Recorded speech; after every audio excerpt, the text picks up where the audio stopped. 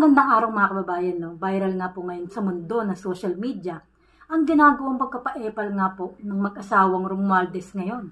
At makikita nyo nga naman po mga kababayan na uh, masyado po silang exage mga kababayan, makakuha lang po sila ng simpatya ng tao.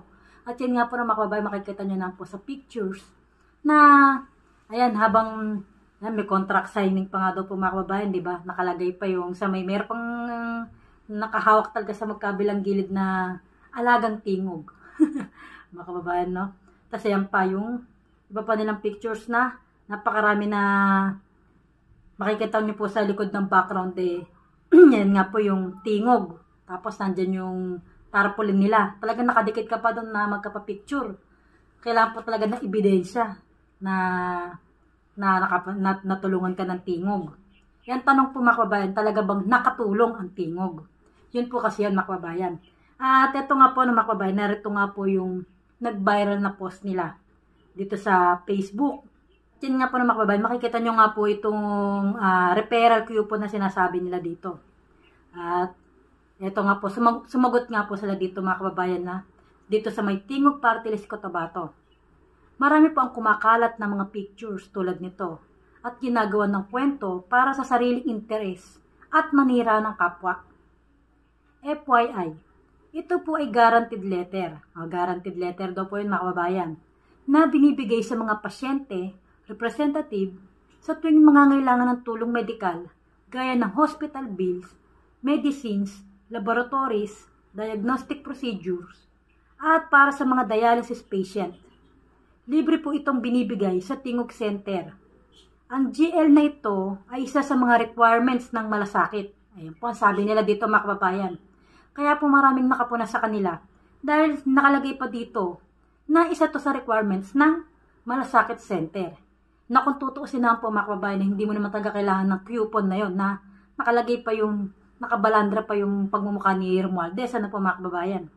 Ah, ano po sabi dito? Ang jail na ito ay isa sa requirements ng malasakit center para maiproseso at maibawas ang kanika nilang hospital bill.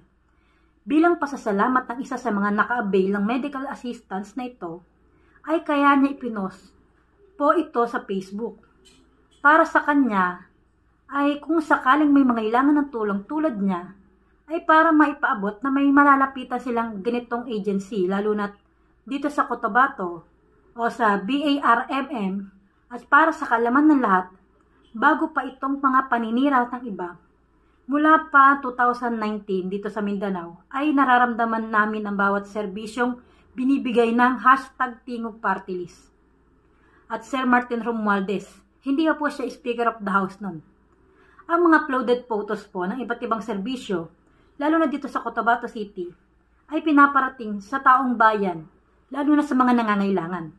Kung sino pa ang mga nagtatrabaho ay sila pa ang sinisiraan. Meron pa po silang banat na ganun sa dulo ang dali nyo manira ng kapwa. Kung alam ninyo lang kung gaano kami nagpapasalamat at pinagdadasal sa bawat tulong na binibigay sa amin dito sa Mindanao. Hashtag silent no more PH. At yan nga po no mga kababayan.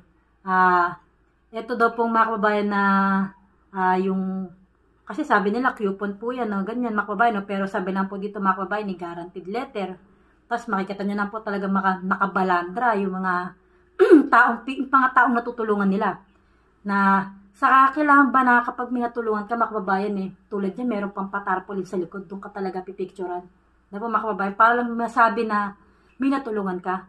Bakit po hindi natin pabayaan na yung tao mismo na natulungan nyo ang magpakalat ng magandang balita, di po makababayan, na natulungan nyo sila.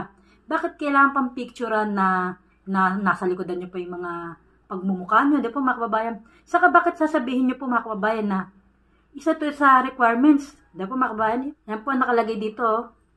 Requirements ng manon. Isa ito sa requirements ng malasakit center. Eh na kung tutuusin po nga po makabayan, hindi naman po talaga kailangan ito sa malasakit center. Kasi po makabayan, basta po sa malasakit center, wala kang kakayahang magbayad sa ospital, okay, laboratories. Kahit nga po yung iba may kakayahan, talaga pong tsatsagain mo lang pumila na ayusin yung mga papel. Eh, maka halos wala ka na nga po talagang babayaran sa ospital pag po lumapit kayo sa malasakit center.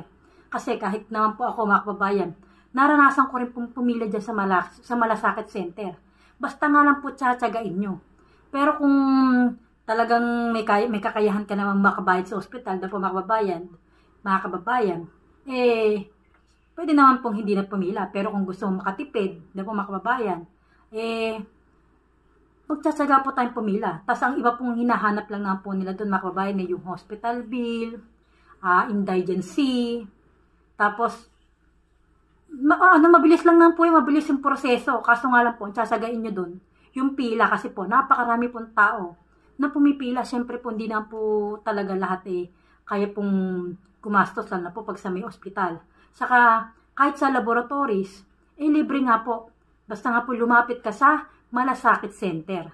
Hindi na po kailangan ng tingok party list na coupon-coupon na yan mga kababayan. Basta po pupunta ka lang sa malasakit center at sinaga mong pumila, mababawasan yung hospital bill mo mga kababayan. Kahit yung laboratories, eh, maano mo yan, ma-avail mo yan ng libre. Saka hindi mo na po kailangan doon mag-picture. Diba, makababahan, hindi na kailangan ng picture na exposure na natulungan sila ng malasakit. Uh, kasi po, saka marami na rin pong naka-experience na lumapit nga po dyan sa malasakit. Kaya kayo po mga kababayan, kung sino po yung mga, yung isa sa mga nakapag-try na ng malasakit, eh, i-comment nyo lang po dyan sa, sa may baba sa comment section para din po malaman ng ating mga kababayan kung paano nga po ba yung procedure o yung mga dapat na gawin kapag kailangan po nila ng lumapit sa malasakit center. Na hindi po sila naloloko mga kababayan, na hindi na po nila kailangan pang kumuha ng uh, guaranteed letter na yan, ng coupon na yan, na hindi na nila kailangan yung pagmumukha sa papel nila Martin Romualdez, silang mag-asawa mga kababayan. Ah, uh, I-comment nyo lang po dyan mga kababayan kung nakapag-try na kayong lumapit niya sa Malasakit Center. At yun din po mga kababayan na kasi po pag i-comment nyo yan, isa po kayo sa magpapatunay na hindi na nga kailangan ng coupon ng tingog party list para tulungan sila ng malasakit. And po ano mga kababayan, dito na nga po nagtatapos ang ating video. At dito na nga po nagtatapos ang ating video. At kung bago ka pa lang po sa aking channel, ay huwag kalimutan na mag-subscribe at i-like and share na rin po ang ating video. Thank you.